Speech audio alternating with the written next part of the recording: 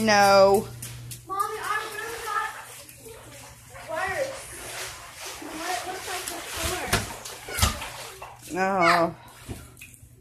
It's Mom, just getting in her bathing suit. a little sad. Changing my eyes. They're wet. Just a little bit of water in here.